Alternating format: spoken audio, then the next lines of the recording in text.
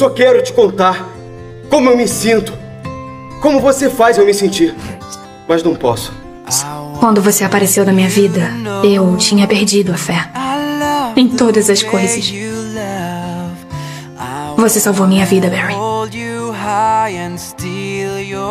Nós não guardamos segredos. Faça o que quiser comigo, mas deixa ele em paz. Você tem que lidar com a dor.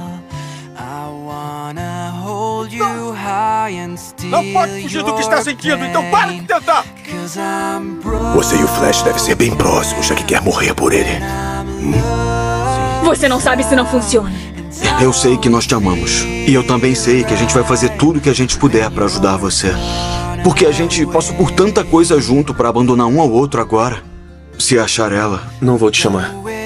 Já fez o bastante. Como você ajudou sua mãe? Caitlin. Ou Ollie. Ou a mim.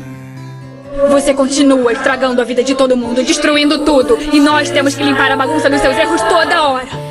Algumas coisas quebradas não podem ser consertadas. É uma coisa que eu já devia ter feito há muito tempo.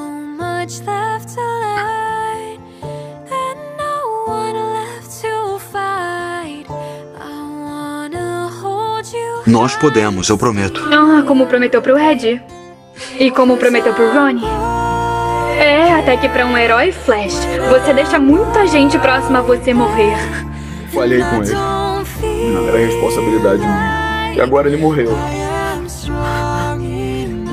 Vai, faz jus ao seu nome, Nevasca. Eu quero ver você me matar. Não quer ser vilã? É isso que elas fazem. Matam seus amigos, porque nada mais importa pra elas, não é? Não é?